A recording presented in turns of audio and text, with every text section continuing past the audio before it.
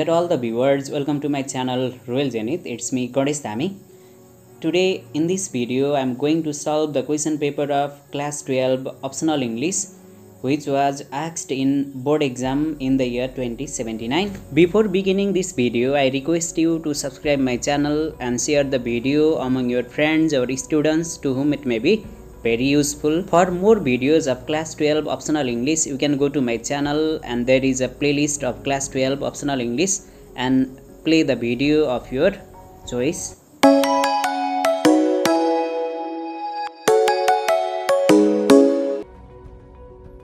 One. A language family is I. A group of related languages derived from a single language. E. Derived from all languages. E. That can be divided into groups of languages. IV. Part of the Indo-European family. Correct option, I. 2. The Tibeto-Burman group of language falls. I. Under Indo-European language family. E. Under Austroasiatic language family. E. Under Kamali languages. IV. Under Sino-Tibetan family. Correct option, IV. 3. Language shift is also I. The cause of language death. E. The cause of language growth. E. The cause of monolithic language. IV. The cause of language of survive. Correct option, I. 4. The king of Banyan deer goes himself moves with pity and I. Compassion to a pregnant deer. E. Compassion to the king. E. Compassion to all living beings. IV. Kindness to the world. Correct option, I. 5. Odin is known for his I. Personal benefit. E. Eight-legged steed. E. Sacrifice for the donation of his right eye for gaining wisdom. IV. Golden armor. Correct option, E. 6. Nelson Mandela was imprisoned for I. 27 years, E. 30 years, E. 90 years, IV. 17 years. Correct option, I. 7. Elegy is notable in that it I. Mourns the loss of a way of life. E mourns the loss of an individual. E. Mourns the death of an author. IV. Mourns the wealth of an author. Correct option, I. 8.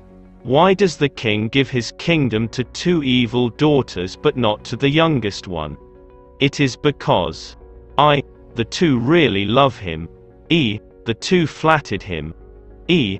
He could not understand the true love of his youngest daughter. IV. The youngest does not love him. Correct option, E.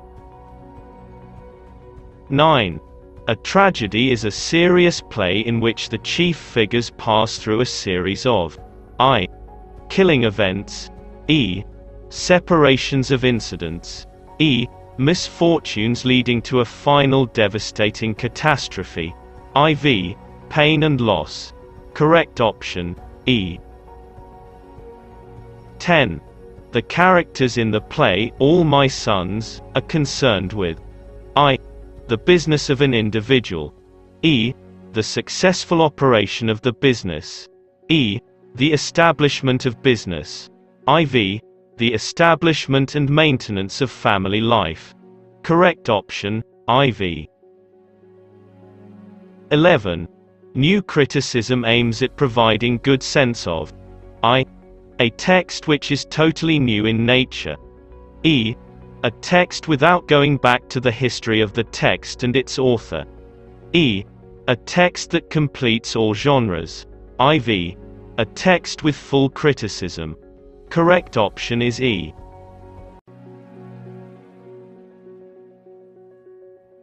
Now, Group B write short answers to these questions. 8 into 5 equals 40. 12. Write in brief about the shift in language. Answer. Language shift is the replacement of one language by another.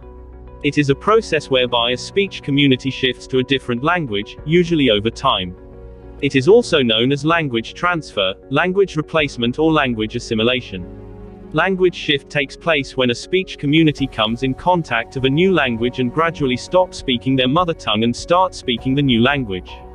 It takes place when a community gives up its mother tongue in favor of another language. At present many people are speaking Nepali language leaving their indigenous language.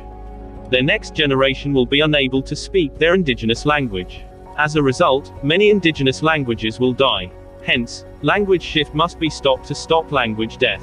Linguistic awareness should be created. Special programs should be launched to save endangered languages. 13. What are the similarities between Pidgin and Creole? Give some examples. Answer When the people of different linguistic backgrounds need the common means of communication, they borrow words from different languages. As a result, a new language originates called Pidgin. It has no native speakers. When the children of Pidgin speakers speak Pidgin as their mother tongue, it gains native speakers and it becomes Creole language. It becomes the mother tongue of those children. Creole is the developed stage of Pidgin. Similarities between Pidgin and Creole are as follows I. Both Pidgin and Creole are the result of the mixture of two or more languages. E. Both are the result of multilingual situation. E. Both of them borrow words, vocabulary from other languages.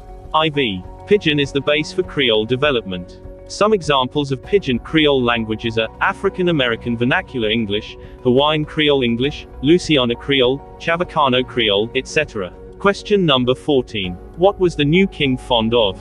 Buddhist story. Answer Brahmadatta was the new king of Benares Kashi.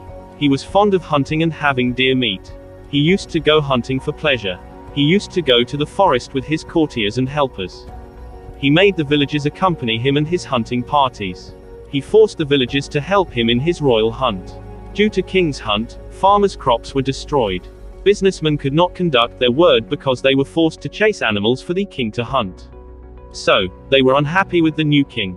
At last, Brahmadatta gives up hunting after learning the lesson of compassion of pity from the Banyan deer king. 15. How is Sir Roger an esteemed person, according to Richard Steele? Sir Roger at the Assizes. Answer According to Richard Steele, Sir Roger is a esteemed person. He is a kind, gentle, humble, and mild man with peace of mind. He is loved and esteemed, respected in his neighborhood. He is a good old knight. He is a benevolent person. He avoids being criticized for the sake of mental peace. As a result, he doesn't even tell the truth and give fair opinion or verdict when people require it. He doesn't displease anyone. He wants to impress others and maintain his fame in the society. In fact, he is the person who doesn't hurt anyone. Question number 16. Why does Mimir ask for the right eye from Odin All-Father? Norse mythology. Answer. According to Norse mythology, Mimir was the guardian and caretaker of the Well of Wisdom. It was also called Mimir's Well. This well was located under the root of Yggdrasil tree. If one drank a draught of water from this well, s, he could become wise. s, he could know all the future. So, everybody who wanted to drink water from his well had to pay the terrible price. When Odin All-Father goes to drink water from Mimir's well, Mimir asks the price to be paid for the water wisdom. Mimir asks Odin's right eye as the price of wisdom. Odin also happily donates his right eye for the sake of valuable wisdom. Let's go to question number 17. How is Elizabethan sonnet different from Petrarchan sonnet? What are their rhyme scheme? Answer Sonnet is a 14 line poem written in iambic pentameter. There are two types of sonnet A. Italian or Petrarchan sonnet, it originated in Italy. It was popularized by an Italian poet Petrarch. B. English or Shakespearean or Elizabethan sonnet, it originated in England. Sir Thomas Wyatt, Henry Howard, and Earl of Surrey introduced sonnet in English, but William Shakespeare popularized it. Difference between Elizabethan sonnet and Petrarchan sonnet is given below. 1. Petrarchan sonnet originated in Italy but Elizabethan sonnet originated in England. 2. Petrarchan sonnet is also called Italian sonnet. Whereas Elizabethan sonnet is also called Shakespearean or English sonnet. 3. Petrarchan sonnet has two stanzas, octave and sestet. On the other hand Elizabethan sonnet has three quatrains and a couplet. 4. The rhyme scheme of Petrarchan sonnet is ABBA ABBA in octave and CDE CDE in sestet but the rhyme scheme of Elizabethan sonnet is ABAB. CDCD, EFEF, GG. 5. In Petrarchan Sonnet, Octave asks problem or question and Sestet gives solution. On the other hand, in Elizabethan sonnet, three quatrains present the theme and a couplet provides solution or conclusion. Now, question number 18. Write in short on formalistic perspective. Answer Formalist perspective is one of the lens to look at the literary text. It analyzes, interprets, or evaluates the inherent features of a text. It focuses on the form of the literary text. It ignores its meaning. It studies literary devices such as rhyme, rhythm, meter, figures of speech, syntax, narrative technique, setting, characters, plot, tone, theme, mood, style, etc. It ignores the historical context of the text and background of the author and readers. It focuses on form, not on the content. It studies the aesthetic qualities of the text. For example, it does not focus on what the poem is about. It focuses on how it is written, what are the literary devices used, etc. It believes that the language of literature should be different from everyday language. Literary language should have literariness. Defamiliarization, deautomatizing, foregrounding and backgrounding are the major devices of formalists. Formalists believe that if the language of literature is ordinary, no one will pay attention to it. So, there should be literariness. Weakness of this perspective is that it is applicable only in poetry not in other genres. Viktor Shklovsky, Roman Jakobson, Jan Mukarovsky, etc. are the formalist critics. Now question number 19. Define subaltern literature in brief. Answer. The word subaltern means lower or inferior in rank. A subaltern, marginalized person is someone with a low ranking in a social, economic, political or other hierarchy.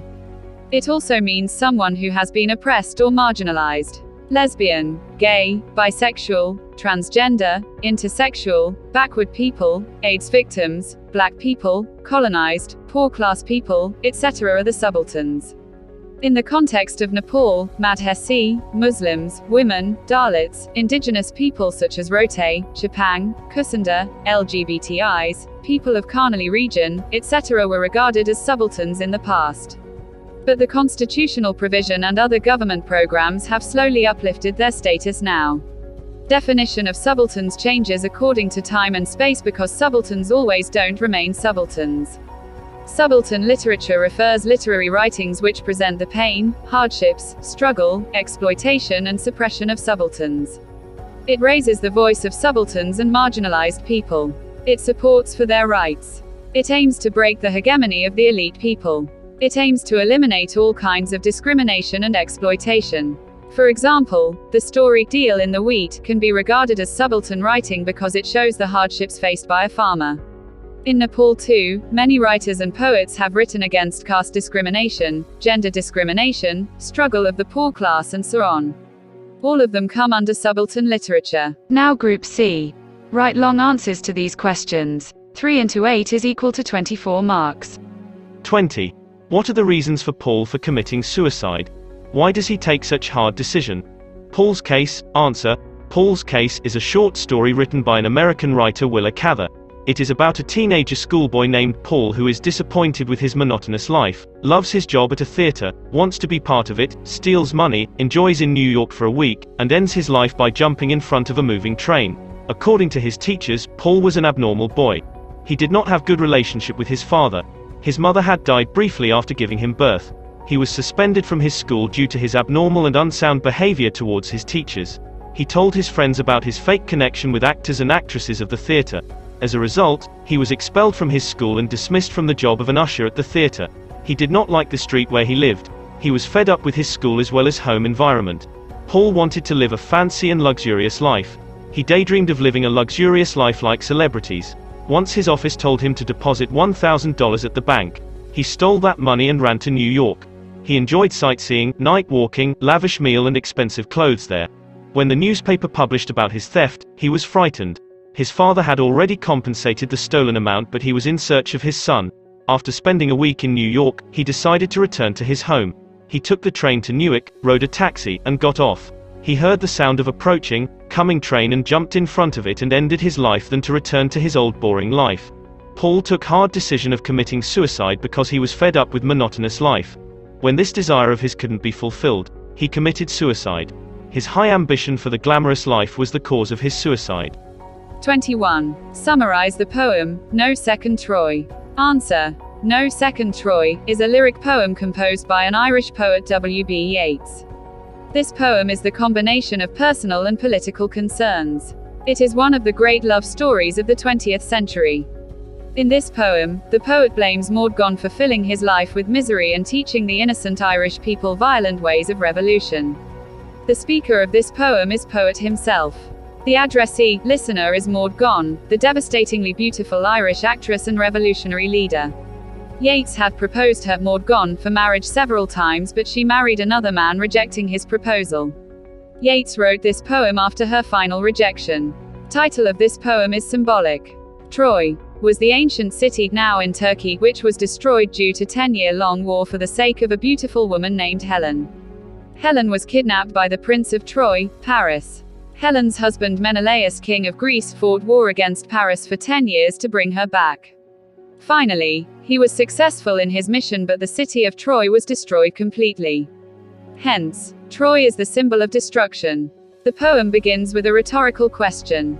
The poet says that he, I, of the poem, should not blame her, Maud Gonne, for filling his life with misery.